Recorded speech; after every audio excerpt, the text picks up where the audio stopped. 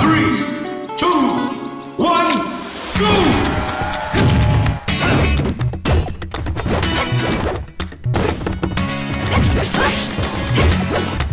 Whoa. Whoa. Ah!